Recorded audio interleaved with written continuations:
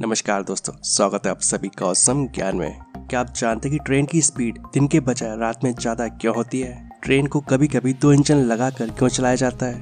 और साथ ही इस वीडियो में हम जानेंगे कि घंटों रेलवे स्टेशन पर खड़े होने के बावजूद ट्रेन के इंजन को बंद क्यों नहीं किया जाता है।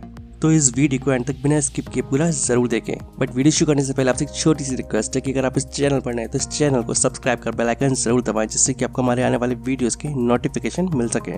तो चलिए शुरू करते हैं आज के इस औसम वीडियो को।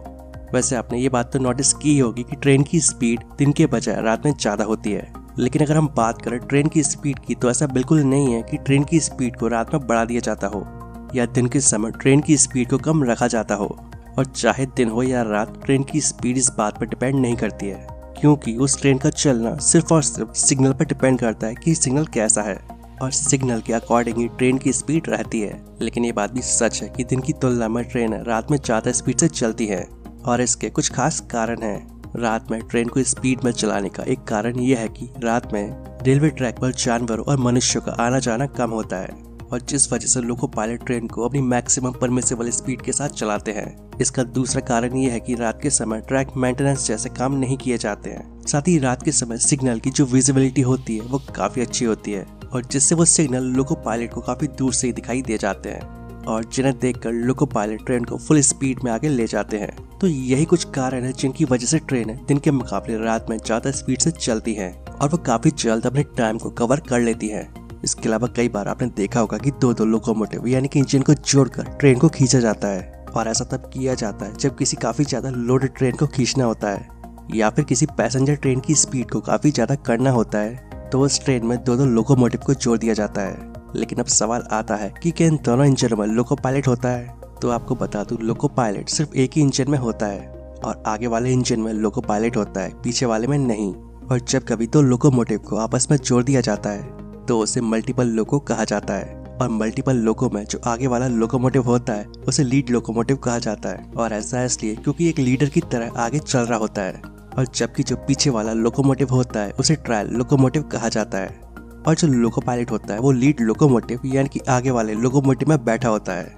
अब आपके मन में ये सवाल आ रहा होगा कि लोको पायलट आगे वाले इंजन में बैठकर पीछे वाले इंजन को कंट्रोल कैसे करता है। आपको बता दूँ कि ये दोनों ही लोकोमोटिव चालू होते हैं। और जितनी कंट्रोलिंग की चीज़ें आगे वाले लोकोमोटिव में होती हैं, उतनी ही कंट्रोलिंग की चीज़ें पीछे वाले लोकोमोटिव में भी होती हैं।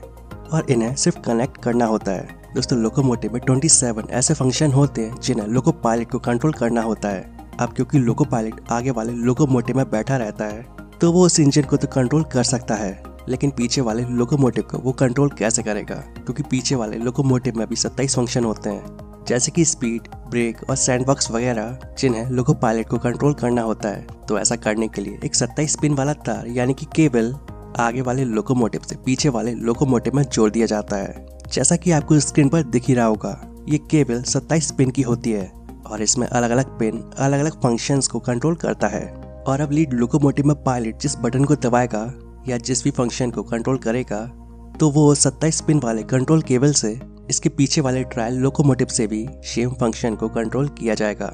यानी कि जो दो लोकोमोटिव ट्रेन में लगे होते हैं, वो दिखने में ज़रूर दो होते हैं, लेकिन वो काम एक ही लोकोमोटिव की तरह करते हैं और ये दोनों ही इंजन चालू होते हैं। इसके अलावा आपने देखा होगा कि अगर रेलवे स्टेशन पर ट्रेन को तीन चार घंटे भी खड़ा करना है तो भी उसका इंजन स्टार्ट रहता है। यानी कि ट्रेन घंटों रेलवे स्टेशन पर खड़ी रहती है, तब भी उसका इंजन स्टार्ट ही रहता है, उसे बंद नहीं किया जाता। लेकिन ऐसा क्यों किया जाता है? लोको पायलट को टोटल सत्ताईस फ़ंक्शन को कंट्रोल या फिर चेक करना होता है। यानी कि जब ट्रेन का इंजन स्टार्ट होता है, तब उसे इन सत्ताईस फ़ंक्शन को चेक करना होता है।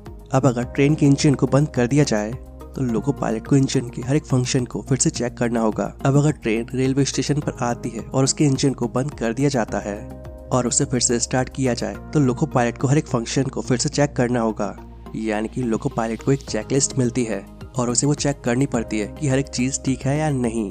जैसे कि व्हील्स और सैंडबॉक्स वगैरह, उसको ये सभी चीज़ें चेक करनी होती है और इसमें उसको करीब 20 से 25 मिनट का समय लग जाता है। दोस्तों इंजन को स्टार्ट होने में तो सिर्फ़ दो मिनट लगते हैं, लेकिन हर एक चीज़ को चेक करने के बाद इंजन को स्टार्ट करना होता है और ये रेलवे का नियम है।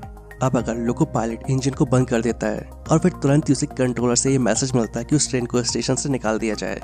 लेकिन लोको पायलट ने इंजन बंद कर दिया होता है और इस इंजन को बंद करने की वजह से उसे चेक लिस्ट को फॉलो करना पड़ेगा और उससे उतर के हर एक चीज़ को चेक करना होगा, देखना होगा कि हर एक चीज़ ठीक है या फिर नहीं और जिसमें उसे करीब आधे घंटे का समय लग जाएगा।